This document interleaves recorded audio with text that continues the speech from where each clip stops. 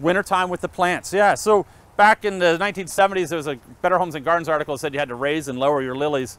Um, if you look at my ponds, my lilies are planted in plant pockets. I've never raised or lowered a lily. Um, they're hardy plants, they will come back. Um, even plants in my stream, you know, if, if it's hardy, you know, to this area, it'll come back.